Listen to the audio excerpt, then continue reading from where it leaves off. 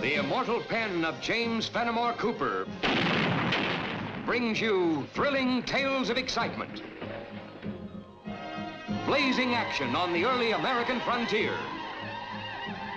stirring adventures filled with the daring and courage of Hawkeye, first of the long rifles, and his blood brother, Chingachgook, last of the Mohicans.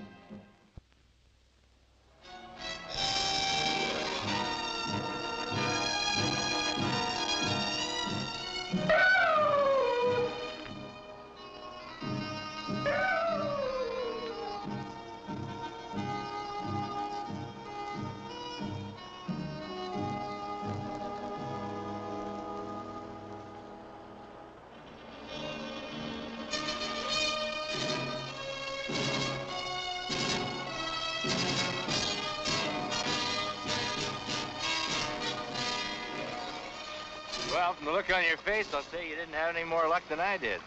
Snow and ice everywhere. Same in that direction. Beats me how this fella Hanlon keeps saying there's a snow-free pass in these parts. He hear Iroquois legend too many times. The worst of it is he has those women back in Caroga counting on a way west that just doesn't exist.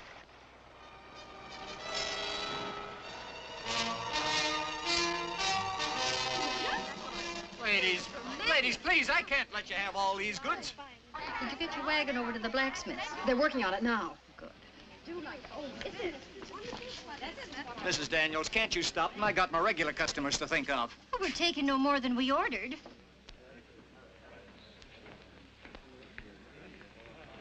Well, from the frowns on your faces, I suppose you're about to say, we told you so.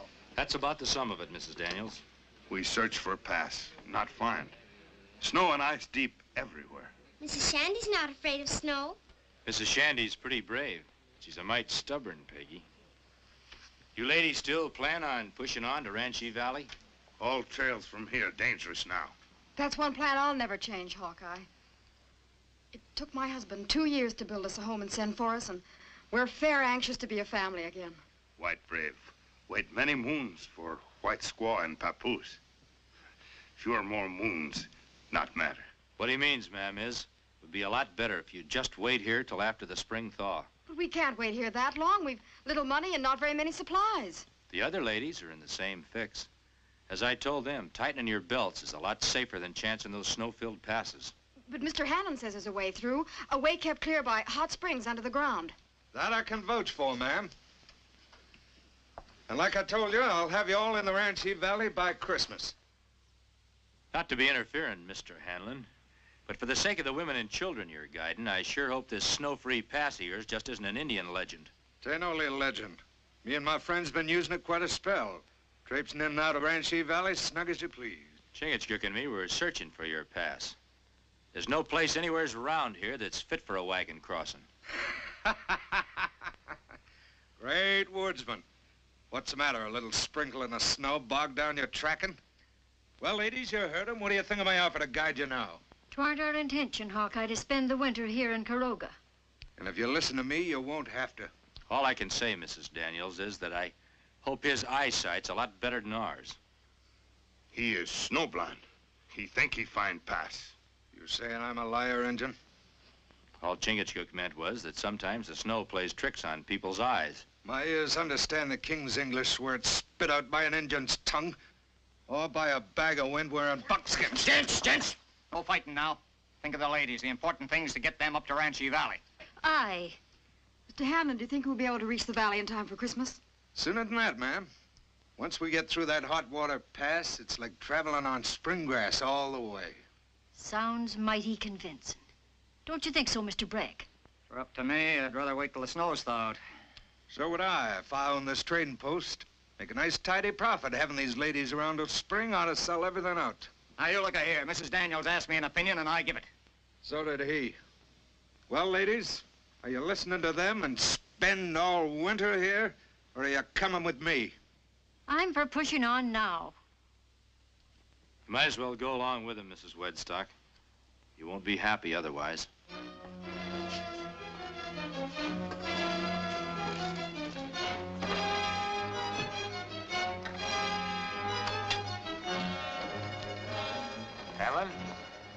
Seeing as you're so busy, you, you got time for a little talk? I guess I can spare a couple of minutes. I can't seem to get this Hot Springs Pass of yours out of my mind. What direction did you say it was in? I didn't. Me and uh, Chingachgook, knowing the ways of the country as we do, we figured we'd go along and lend you a hand getting the wagons through. We needed help from you and that Injun, we'd asked for it. Something tells me you're gonna need all you can get. Now, when you're by uh, White River Rapids, that snow-free pass of yours ought to be north of there. Keep a guessing. It couldn't be south on account of the Willicut River.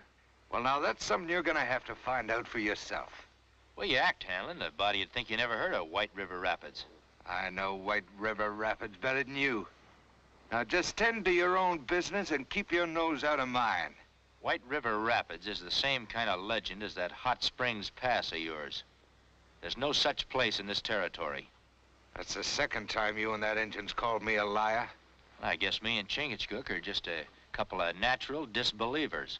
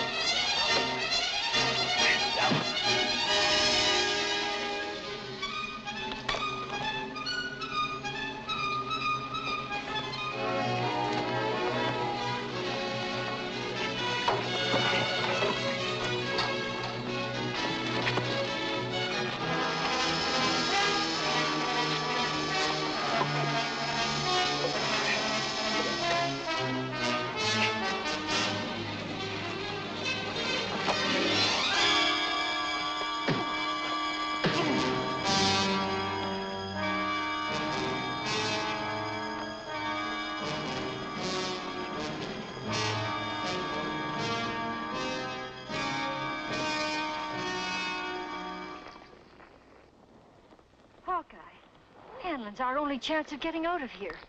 Me and Chingachgook know how anxious you folks are to get to Ranchi Valley. We'd feel a whole lot better if you'd just wait till we make sure you're going the right way. We can't wait, Hawkeye. Another storm and we'd be snowed in here for the rest of the winter. Better you stay here for winter than out there in snow forever. That woodsman's like a bulldog worrying a bone. He'll chomp on it till he cracks it open to the marrow. He sure ain't swallowed the bill of goods we sold them women. Maybe we ought to call the whole thing off. You keep the other boys waiting for the slaves we promised him? Uh-uh. We'll deal with Mr. Hawkeye and his Indian friend as we have to.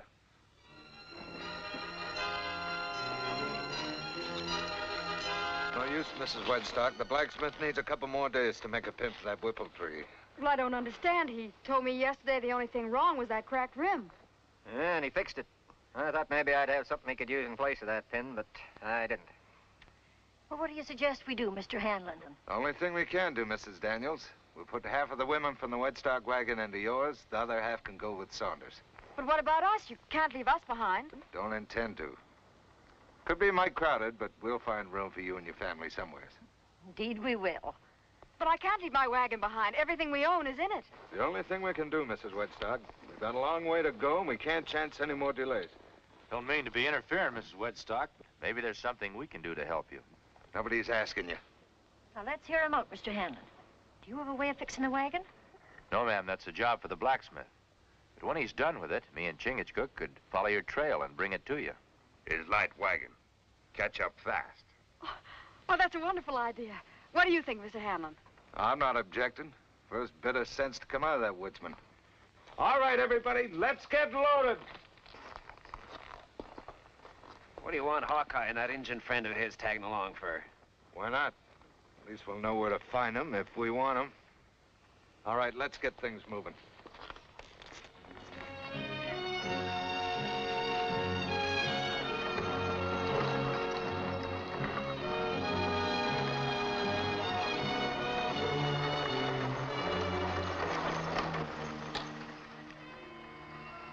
Still doubting they'll find that pass, Hawkeye?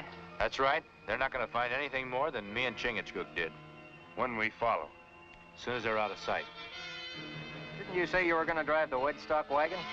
Blacksmith says it won't be ready till tomorrow anyway. My brother Hawkeye. Not need blacksmith.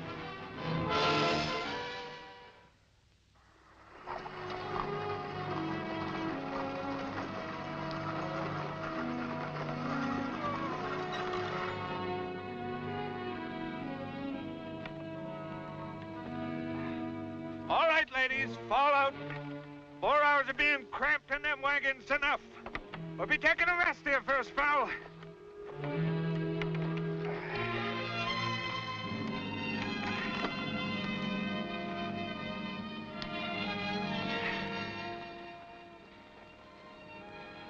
You boys are going on a hunting trip. What for?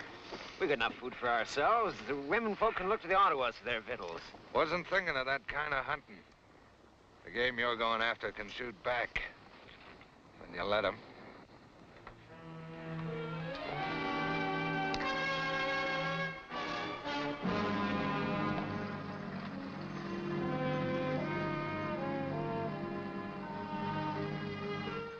Hanlon sure changed his mind fast about us coming along.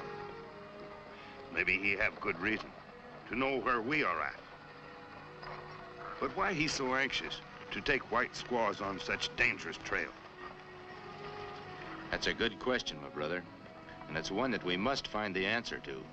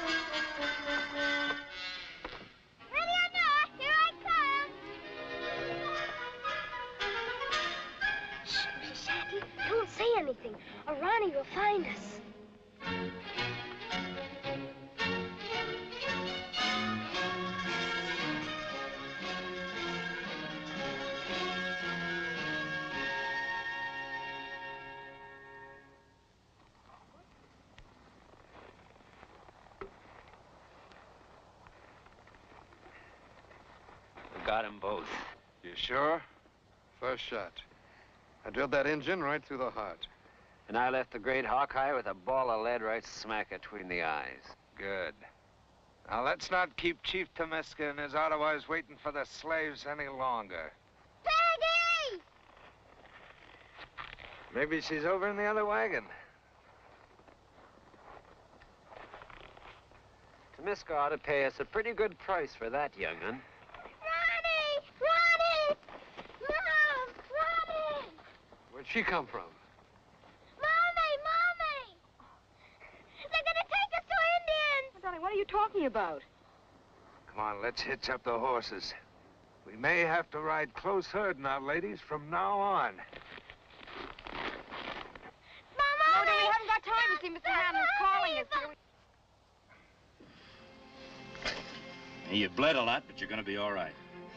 But my brother Hawkeye, he not hurt. No, I just played possum so the bushwhackers would leave. White squaws in bad trouble. Need help fast. We go on foot. Wagon make too much noise. You stay put, I'm going alone. Where my brother go, I go. If you were any weaker, you'd be needing a cradle. Me not papoose. Me go. Now, you just stay put. You've lost a lot of blood. You'll be snug here for a while. As soon as you feel able, drive the team back to the settlement. Tell them what's happened.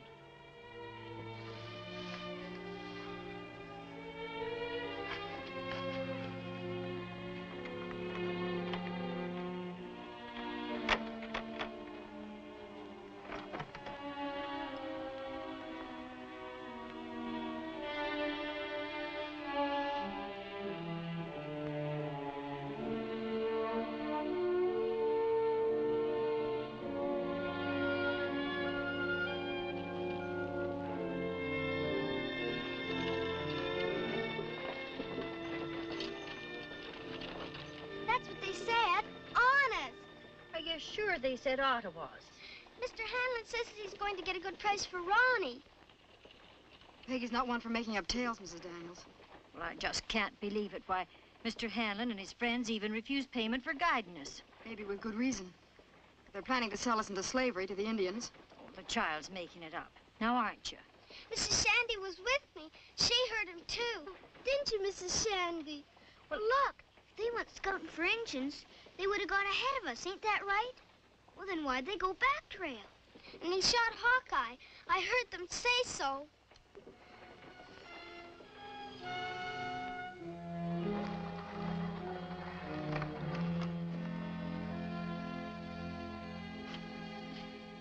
Judging by the looks on your faces, I'd say little Mrs. Shandy's been talking out of turn. Then it's true. You don't have to worry, ladies. The Ottawas won't work you too hard. Might even marry and take you and your little ones into the tribe. Oh, you foul son of Satan.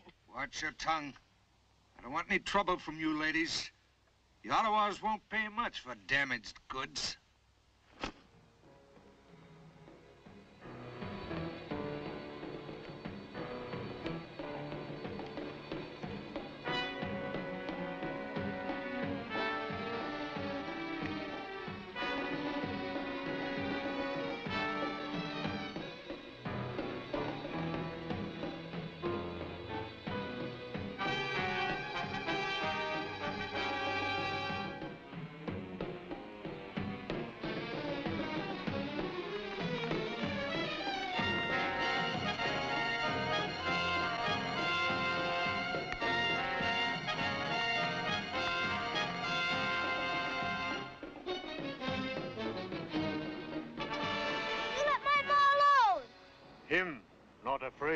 Regular little warrior, ain't he? You be good and maybe the chief will keep you all together.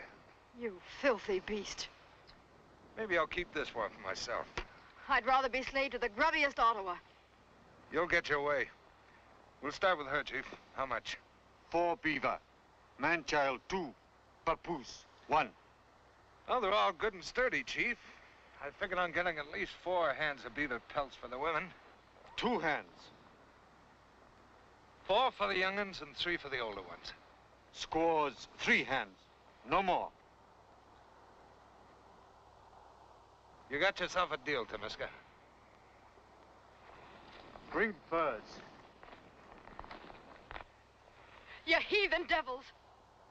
We'll die before we suffer ourselves to be your slaves.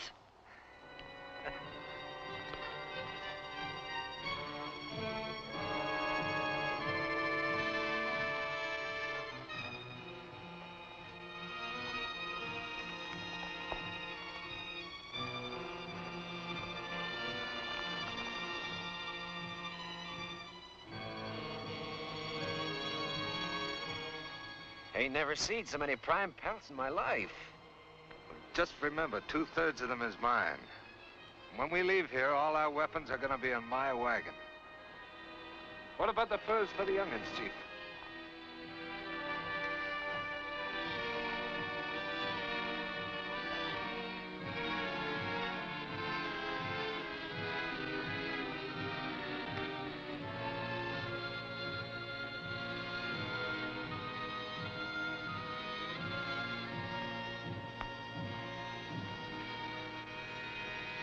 Greetings, Temiska. I come in peace. Greeting, Hawkeye. Tamiska's lodge, your lodge. The welcome of Temiska is known beyond the land of the Ottawas, even as other tribes know the justice of Ottawa law. Manitou give Ottawa law.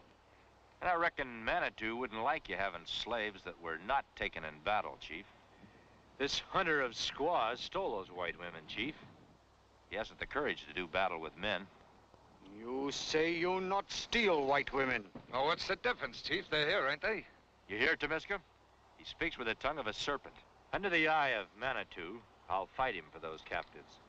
If he wins, they stay. If I beat him, they go free. Don't listen to him, Chief. Let me and my friends take care of him. Wait. You wise in Ottawa law, Hawkeye. Manitou place hand on true one. Ottawa takes slave only from battle. Test of knives prove who speak with straight tongue. Hawkeye die, Temiska buy captives. What's the sense of this, Tamiska? We went to a lot of trouble bringing them to you. Test of knives for eyes of Manitou only.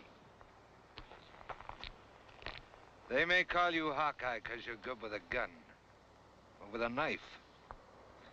Carl Hanlon skewered many a man without getting nary a scratch.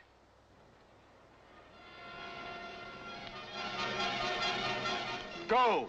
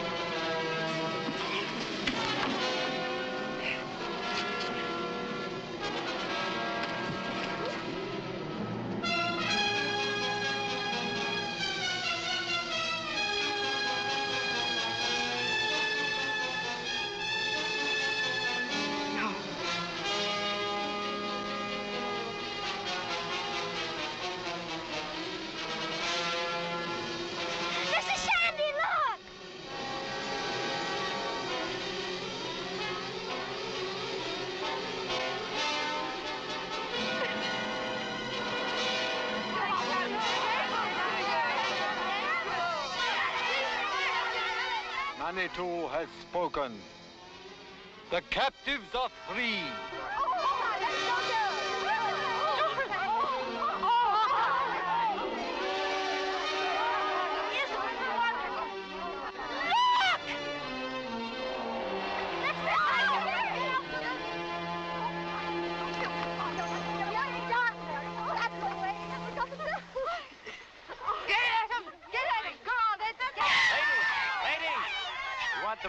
One piece for the trial.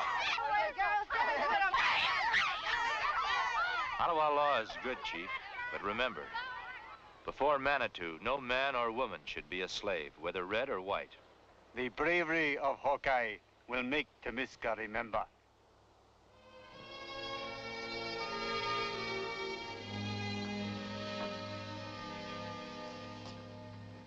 Mrs. Shandy, meet your new sister, Matilda. Well, this is the first time we've ever celebrated Christmas in the spring. Well, a cup of cheer tastes just as good in April as it does in December. when all people are happy, not matter what season. And we couldn't be happier. Thanks to you both for bringing us together and making us a real family again. Hawkeye, Mrs. Shandy loves you and thanks you. Well, thank you, Mrs. Shandy. Mrs. Shandy loves you and wants to thank you, too. Well, Mrs. Shandy is very smart lady. She knows that now is season for everyone love each other.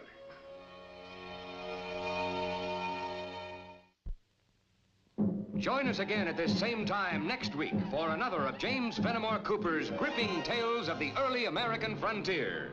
Another exciting adventure of Hawkeye and his blood brother, Chingachgook, last of the Mohicans.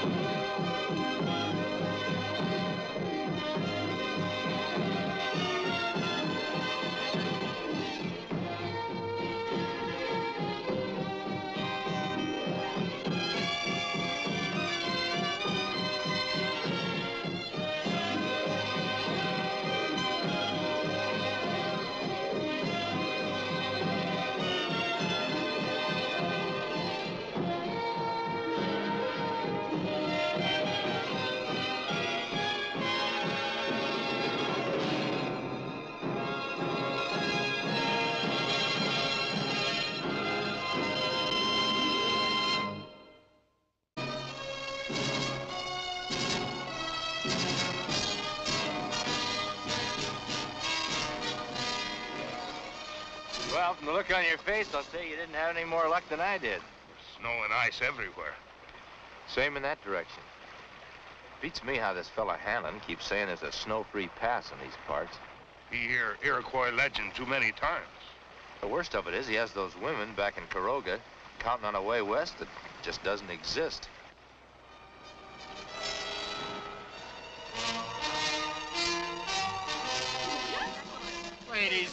Ladies, please, I can't let you have all these goods. Did you get your wagon over to the blacksmith's? They're working on it now. Good. Do like. Is it? Mrs. Daniels, can't you stop them? I got my regular customers to think of. Well, we're taking no more than we ordered.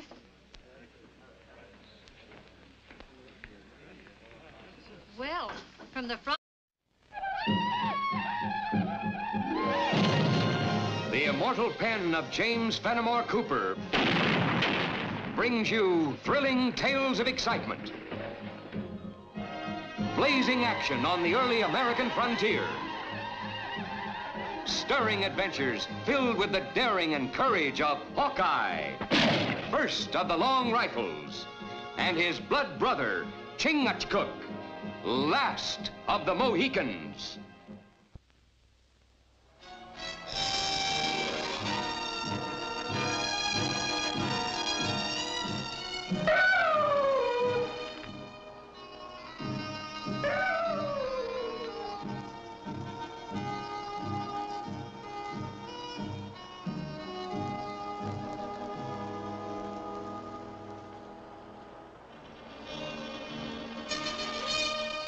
That I can vouch for, ma'am.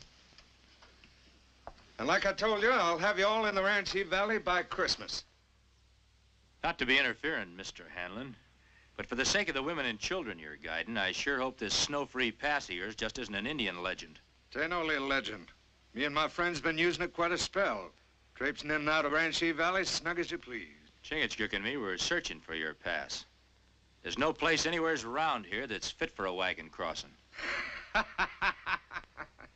Great woodsman. What's the matter, a little sprinkle in the snow bogged down your tracking? Well, ladies, you heard him. What do you think of my offer to guide you now? Twarn't our intention, Hawkeye, to spend the winter here in Caroga.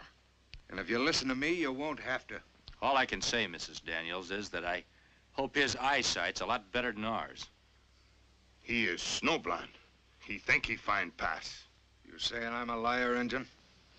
All Chingachgook meant was that sometimes the snow plays tricks on people's eyes. My ears understand the king's English where it's spit out by an Injun's tongue. Or by a bag of wind wearing buckskin. Gents, gents! No fighting now. Think of the ladies. The important thing is to get them up to Ranchi Valley. Aye. Mr. Hanlon, do you think we'll be able to reach the valley in time for Christmas? Sooner than that, ma'am. Once we get through that hot water pass, it's like traveling on spring grass all the way. Sounds mighty convincing. Don't you think so, Mr. Breck? For up to me, I'd rather wait till the snow's thawed. So would I if I owned this trading post. Make a nice tidy profit having these ladies around till spring. Ought to sell everything out. Now, you look here. Mrs. Daniels asked me an opinion, and I give it. So did he. Well, ladies, are you listening to them and spend all winter here? Or are you coming with me? I'm for pushing on now. You might as well go along with him, Mrs. Wedstock. You won't be happy. Frowns on your faces. I suppose you're about to say, we told you so. That's about the sum of it, Mrs. Daniels. We search for a pass, not find. Snow and ice deep everywhere. Mrs. Shandy's not afraid of snow. Mrs. Shandy's pretty brave. She's a mite stubborn, Peggy. You ladies still plan on pushing on to Ranchi Valley? All trails from here dangerous now. That's one plan I'll never change, Hawkeye. It took my husband two years to build us a home and send for us, and we're fair anxious to be a family again. White brave. Wait many moons for white squaw and papoose. Fewer more moons, not matter. What he means, ma'am, is it would be a lot better if you'd just wait here till after the spring thaw. But we can't wait here that long. We've little money and not very many supplies. The other ladies are in the same fix. As I told them, tightening your belts is a lot safer than chancing those snow-filled passes. But Mr. Hanlon says there's a way through, a way kept clear by hot springs under the ground.